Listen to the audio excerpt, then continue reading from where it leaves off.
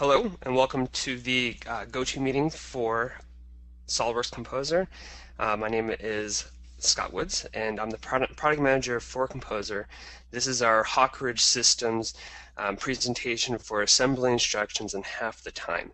So this presentation is going to be a little bit different than some of the presentations you might have seen um, that I've hosted or Hawk Ridge has hosted in the past where this is um, a little bit of, I guess we would refer to as uh, e-learning and a little bit of e-demo. So it's kind of a mix between the two, um, going over in detail in SOLIDWORKS Composer how to create a step-by-step uh, step-by-step instruction um, that could be a, a operation manual, an assembly, you know, instruction.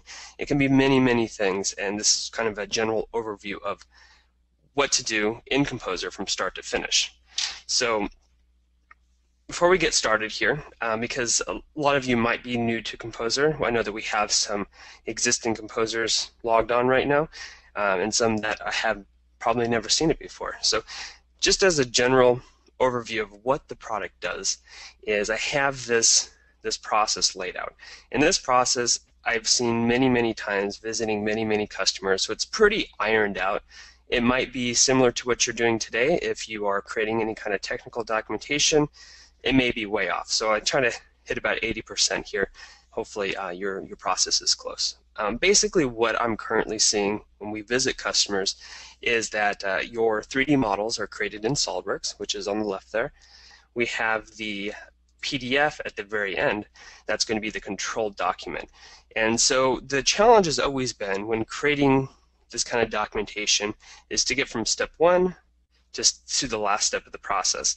And how that's handled is many, many ways. So what I've seen is a lot of screenshots, which this icon is, is symbolizing uh, in Composer or in SolidWorks.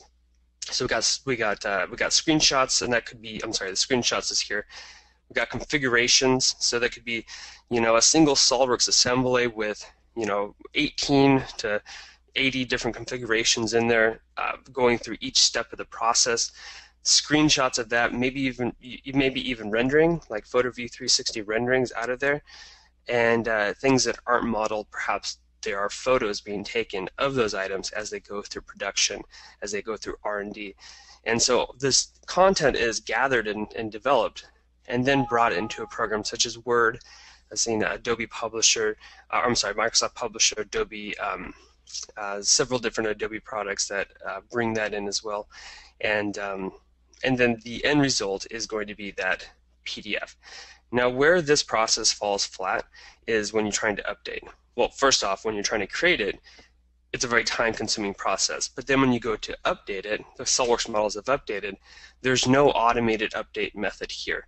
You have to go back through, edit the configurations, retake the screenshots, retake the photos, and then when you need to edit the document, like the Word document, you actually have to go into each one of those images, right-click them, replace them, try to locate the new one to just update the control document. So it's a very time-consuming process, and one that you know, of course, we try to we're trying to improve on and make better. So uh, we have eliminated quite a few steps from this process, and the composer solution goes as such, where we have the 3D models from SOLIDWORKS.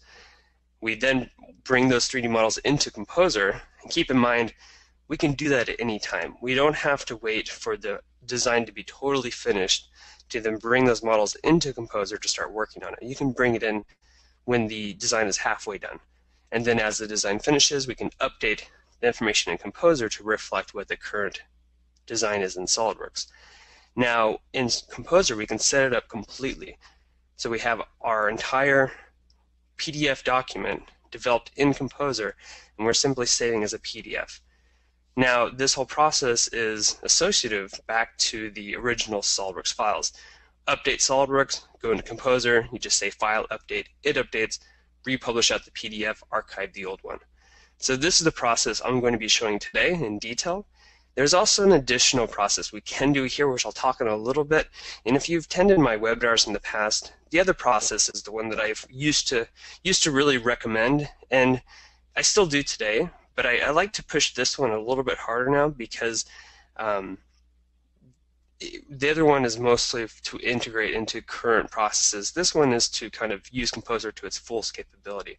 So what we can do here is we can, from Composer, export images and then bring those images into Word and then save that Word as a, as a PDF document. So there's a couple more steps we could add here if we wanted more control over how that end PDF looked.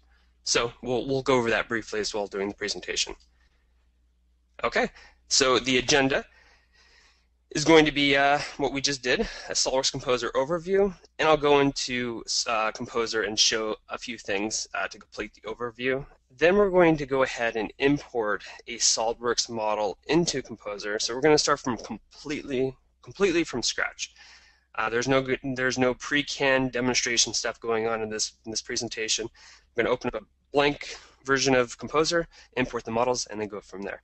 I'm going to go through the imported models and prep it for our technical publications, and then um, export it out, put it all together, and then we're going to go ahead and publish the controlled document. Now, by controlled document, I mean the document that isn't ever going to be edited again. It's a controlled document.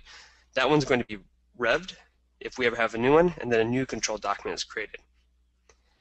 Okay, so let me jump into Composer, and I have a file here that I've already put together. I'm going to go ahead and show this just to give you guys a little idea of what we're going to be doing on the fly. So this is a Composer document that has been completely set up to be printed. As you can see, it's all portrait formatting, 8.5 by 11. I have a, a background set on here, which I'll show you guys how to do that. Our logos, text, and then our, our 3D model that's in there as well. Now, of course, when you're in Composer, anything that's 3D, you can rotate, zoom, explode, all that good stuff, recolor. When it's a PDF at the end, it's just going to be for print. Now, if you don't want a printed document, if you want an interactive document, it's the, the whole process is identical. It's just how we publish it at the end which at the end of the presentation, I'll go, the, I'll go through the different publishing options so we can hit those topics as well. All right, so the very first page of this, or maybe the second page, depending on how you look at it, would be, you know, which tools are required for this for this project. And here we have like, you know, safety glasses, hammer, screwdriver, etc. These actually come with Composer. So if you go to the workshops, the image library, there are items that come in when you install the application but keep in mind, these are just bitmap images. You can use like bitmaps or JPEGs or you know just an image file to then develop your own tools and to drag and drop these into Composer to use them. So it really is that easy. You just go to this directory. You can also specify that this directory is uh, on your network, have Composer linked to it. If you have multiple users, they all can link to it and pull these tools in. So, I mean, to be honest, the, the, the ones that come with Composer are pretty limited. We just have these icons here. Um, but we can go through and, and we can really spice that up and add as much content as you need. Okay, so go to the next page. And now we get into the step-by-step -step stuff. So here we have the assembly that's now exploded. We have our, our parts list with all the, the BOM balloons and everything calling it out. We go to the next step. It isolates a, a sub-assembly, all the components on there with BOM IDs and such. This here, this is what's referred to as a detail view, which we'll go over as well, which is nice because we have a 3D model here. And this is technically not a 3D model. This is a two-dimensional vectorized drawing, but it's still associative back to the original uh, or to the, the models that we have here. And that's done in the technical illustration panel, this little detail view here. You can tell once the detail view is in, if you select it, then you have the ability to update it. So if anything updates later, we can go ahead and update that and uh, keep it live. Uh, again, I'll go into further detail on that as well. Okay, so first step of the process, um, we're going to isolate that little subassembly. There's a couple components here, and then basically it goes through a step-by-step -step assembly procedure. So as we can see here, is each step of the process is a whole page in the PDF print. So when we print this out, we publish this out as a PDF, every single page here will actually be a page in the, um, which I'll pull up here, which would be the final PDF for print instructions. Now, keep in mind, this also uh, is for any detailed views or anything like that, like things like this. So we can really add a lot to a single page. We have a single 3D model, but we can have all these detailed views rasterized and vectorized to really show different angles and different steps of the process. Now, um, this is very powerful, and this is the output from Composer. Now, if you wanted to really control this or perhaps use these images on your website instead of a PDF document, then at that point I would recommend publishing out as images from Composer, which are right here. So basically at that point we have JPEG images. You can print it with, you can publish it with the border, with the border, without the border, uh, just the models. So it's really up to you how you want these images. But once you have the images outside of Composer, we can bring those into websites. We can bring them into, you know, InDesign documents, Word documents, uh, Excel sheets. It doesn't matter all those items are actually linking to these images. So once you update in SOLIDWORKS, you go into Composer, you tell it to update, republish out the images. It saves all these images all in one shot. Whatever you have linking to these is then updated automatically. Again, there's a couple different workflows we can work with here. That's just one of them. The one that we're going to be focusing on today is that printable PDF. Okay, so I have, nope, that's an old one. That was before we got started. Okay, so I think we are good. Let me go ahead and close this down, and let's start from scratch here. Uh, before I do, let me just go ahead and show what's in this document, just a little preview. Just this assembling together. Then once that subassembly is put together, then of course it's applied to the to the main assembly model. Okay. So close that down. And let's go ahead and do this. So first off, I want to show that our SOLIDWORKS assembly um, here, which is going to be a rescue robot. This is, this is the assembly with all the parts in it. This is what we're going to be bringing to Composer. So this is a 36.2 megabyte um, file. So this is the assembly, all the parts.